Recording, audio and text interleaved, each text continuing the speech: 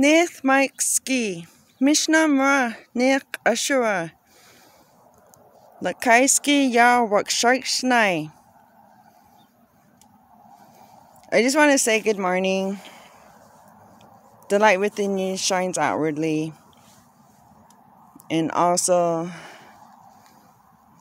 let everybody know I'm not a mind reader.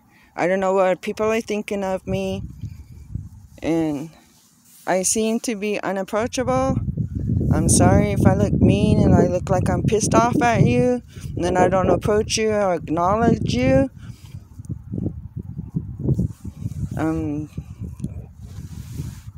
I was attending a funeral, attending a body, and so I had to sit down with people and then explain why I wasn't able to hug them and shake hands. There's others that already know this, and I just want to let everybody know even the ones I don't talk to and I'm not tight with, and I don't go to the house and visit with them, that I still love them. I have love for my people. Even though we may feel like we still have bitter, hard feelings towards one another.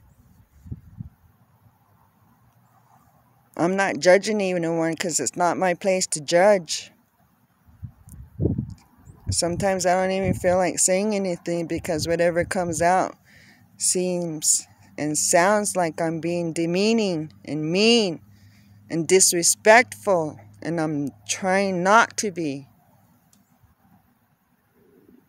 So forgive me for being me. I'm working on myself to be a better person every day. Atawi Shamash.